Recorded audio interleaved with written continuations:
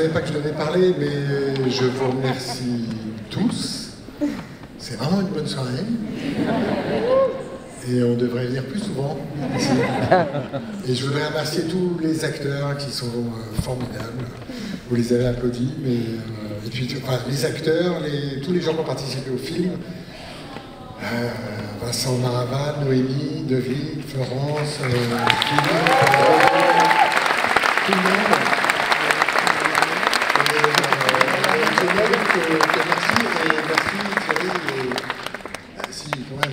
Parce que c'est bien de présenter le film ici, c'est cool.